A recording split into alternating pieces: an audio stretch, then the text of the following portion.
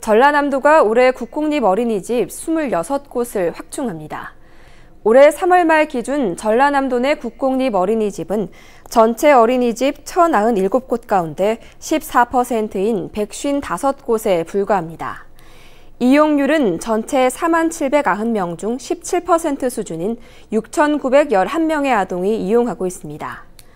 전라남도는 정부 100대 국정과제인 국공립 어린이집 이용률을 40%까지 끌어올리기 위해 기존 어린이집을 활용한 지정을 우선 추진하기로 했습니다. 전라남도는 현재 민간과 가정 어린이집 등 10곳에 대해 서류 조사를 진행하고 있으며 추가 수요 조사를 통해 발굴한 7곳은 이달 안으로 보건복지부에 신청할 예정입니다. 나머지 9곳도 수요 조사를 통해 확충할 계획입니다.